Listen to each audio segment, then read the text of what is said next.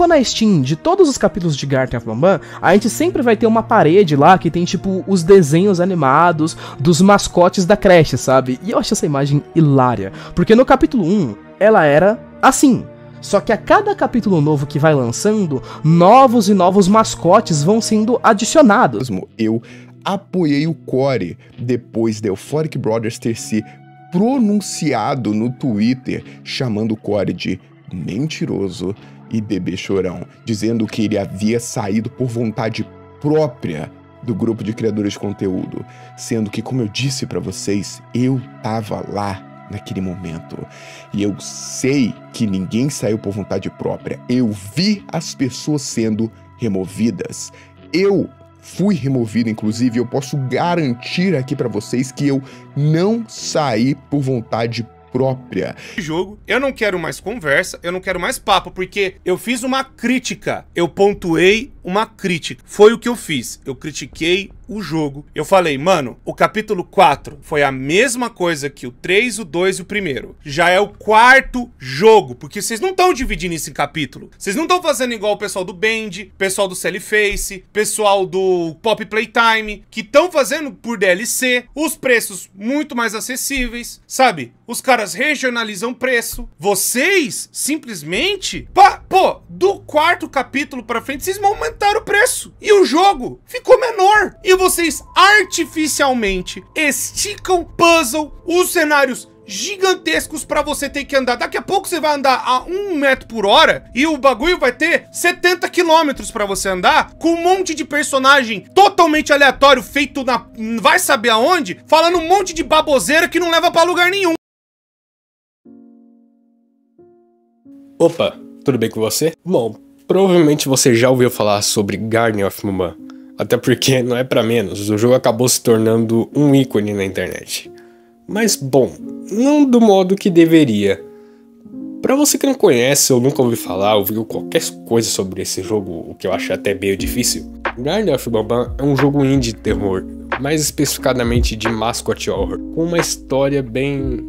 Bom, digamos que a história se perdeu há um bom tempo, mas eu deixo isso mais pra frente. Pois se você nunca ouviu falar sobre Garden Mamba, provavelmente você já ouviu falar sobre o Gore, o Terrorizando ou o Linkzinho. Eles são bastante conhecidos nas, na comunidade de jogos, principalmente pelos seus canais no YouTube, que são muito grandes. E como tal, qualquer empresa com um jogo minimamente parecido com FNAF, Pop Playtime, vai querer que esses youtubers ou muitos outros falem sobre esse jogo principalmente pelo alcance deles, até porque, né, quem é que não quer ter o seu jogo reconhecido? Porém, não foi o caso da Euphoric Brothers, a empresa responsável por Garden of Boban.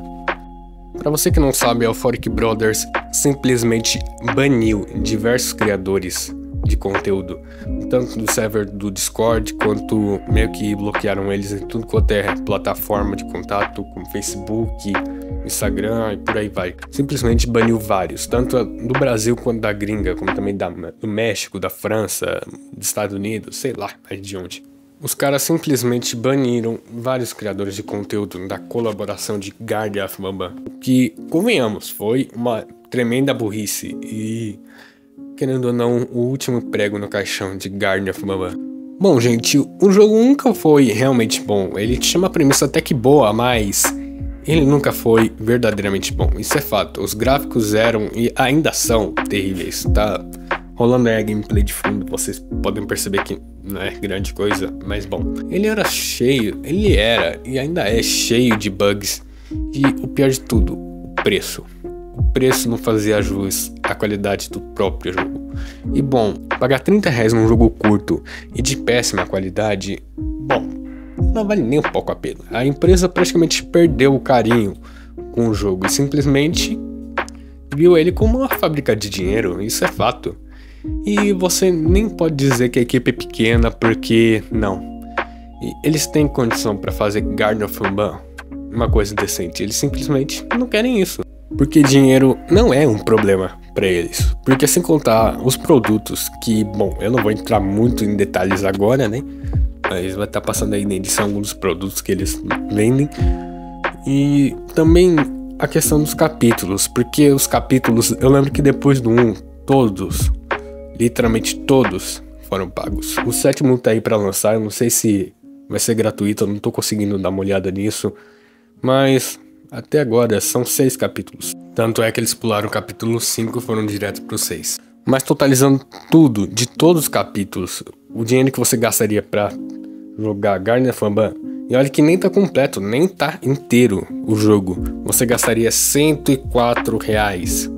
Você tem ideia de quanto que é 104 reais?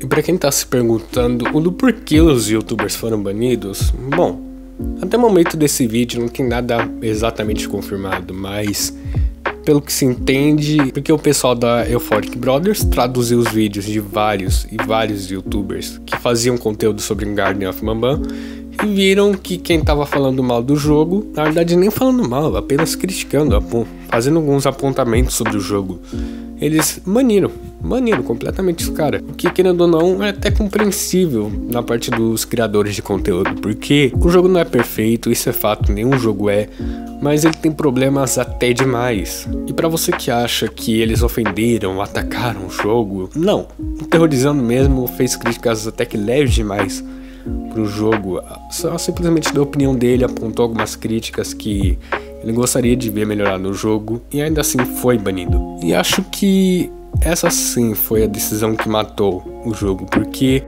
porque as pessoas não vão mais ver sobre Garden of Mamba. Porque o que fazer elas verem o jogo, elas comprarem o jogo, elas opinarem sobre o jogo, comentarem, fazerem o jogo ser o que é, eram os youtubers. Se eles não, claro, se eles não melhorarem o jogo, porque si ele nunca vai se sustentar sozinho, ele nunca seria como um FNAF da vida, o que é quase impossível.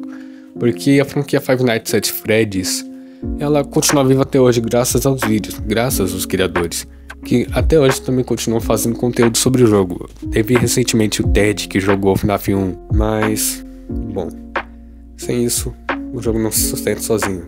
Eu sei que teve várias coisas que eu não disse, que eu citei aqui no vídeo, porque eu ele ficaria gigantesco e eu não tenho paciência nem tempo para editar vídeo muito grande. Mas vou colocar o link de alguns vídeos do dos canais que eu citei aqui na descrição para vocês darem uma olhada e acharem o que, que realmente deveria acontecer. Mas bom, espero que esteja tudo bem com vocês e até a próxima.